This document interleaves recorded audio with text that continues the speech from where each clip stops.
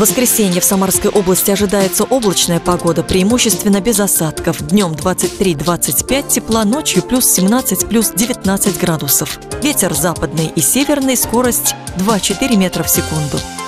В Сызрани облака и без осадков, днем плюс 25, ночью 18 выше 0, западный ветер 2 метра в секунду.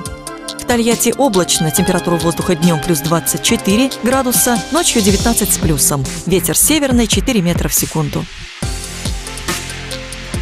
В Самаре мало облачно, возможен небольшой дождь. Днем плюс 23 градуса, ночью 17 выше 0. Ветер западный 3 метра в секунду, атмосферное давление 748 миллиметров ртутного столба. Влажность воздуха 44%, температура воды в реке Волга 21 градус, геомагнитное поле слабо возмущенное.